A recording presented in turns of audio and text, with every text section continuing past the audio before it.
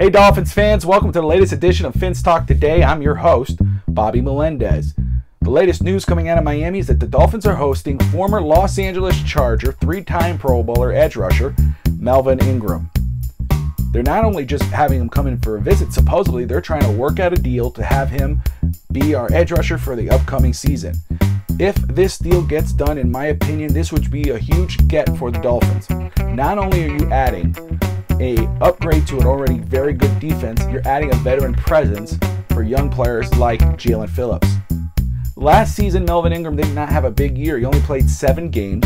He had no sacks and very low amount of tackles. However, 2019 had almost 44 total tackles, seven sacks, five passes deflected, and one pick.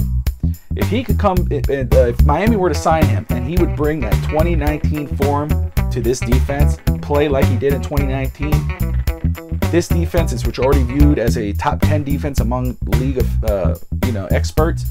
In my opinion, could be a top five defense. I would love this move for the Miami Dolphins. Now it comes to now we're moving on to this next subject, which is more not, not like a rumor, but something that people started bringing up today, which was uh, Le'Veon Bell potentially being an option for the Dolphins at running back. Obviously, this is not the first time Le'Veon Bell has been brought up for the Dolphins. Last season, he almost signed with Miami after getting released by the New York Jets. He chose the Kansas City Chiefs over Miami, which he called a tough decision because he wanted to win over getting a bigger workload.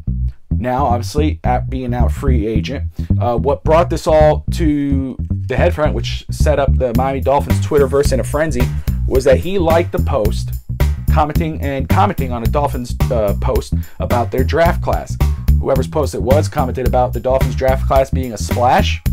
He replied back, yes, indeed. Of course, everybody uh, who's seen this had went a little hyped over it and started making a discussion about Le'Veon Bell being an option for the Dolphins. He almost signed with the Dolphins last season, as I brought up. He said the only reason why he did it was he wanted to win. Um, he did, though, during that conversation, which was during the Super Bowl, during the media uh, portion of it, stated that the Dolphins, he loves the coaching staff. He praised the coaching staff, the management, the young players, the young quarterback, and Tua. Um, but he just saw the better chance to win was with Patrick Mahomes. No kidding. Um, but he said he would consider Miami down the line. He's a free agent. He knows Miami possibly needs a running back. In my opinion, they don't. I think they're okay.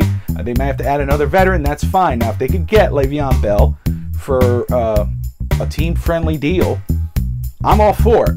But if it's some kind of crazy amount, he wants some starter minutes and all starter money, I'm not in on that. I think there's better options out there, especially for him. If you look at his uh, two years, the one with the Jets and then, of course, with the Chiefs, between the Jets and the Chiefs, he hasn't been very productive.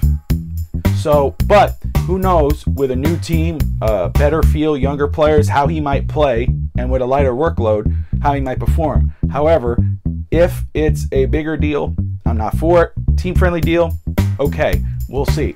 Uh, another report coming out of Miami is that the Dolphins are have big plans for Jaylen Waddle and the, of course, with the first team offense and pot- potentially playing him as a returner and a punt returner, a kick returner and a punt returner. I know some people were upset with that by that, and it makes it a little cringeworthy. You start to get a little nervous. However, he is a rookie. Our receiving uh, room pretty loaded right now. DeVante Parker, Albert Wilson, Jakeem Grant, who's who was shown uh, on Twitter recently catching passes from Tua. You also have uh, uh Preston Williams as well. It's a big wide receiver room, a lot of players. You have to figure out how you're going to use your number one overall pick. Um, so kick returner, punt returner is pretty obvious in my opinion, especially with Jakeem Grant can't really be trusted when he's dropping a lot of balls, fumbles, etc. So I love it. Uh, you get him as you get as much experience as possible. Get him on that field. I don't think it's that big a deal. Um, remember, this guy, he did everything. He played punt returner, kick returner, receiver. He did some running back in college uh, and some different plays for Alabama. And don't be surprised if he does it then. Also, Lynn Bowden as well. I can't forget him. Hey guys, that's all I have right now. Uh, tell me what you think about this below. Tell me what you think about possibly adding Melvin Ingram. If not, by the time this video releases, he might be already on the roster. Tell me about what you think at running back. Would you sign Le'Veon Bell? Who would you add on this roster, or are you okay with Myles Gaskin and company? And Jaylen Waddle. I know a lot of people have feelings over him being a returner a kick returner. I know there's injury possibilities. However, how do you feel about it? If not Jakeem Grant and Jaylen Waddle, who would you be? Who would you make the returner? Hey guys, follow me at Bobby Finstalk on Twitter. Follow the show at Finstalk on Twitter as well, and Dolphins Talk on Twitter. Also, see dolphinstalk.com for the latest news, reports, and analysis on the Dolphins.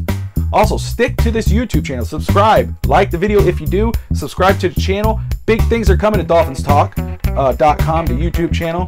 Watch for it here on the channel. Hey guys, thanks for watching. We'll keep you posted on the latest news and reports for the Dolphins.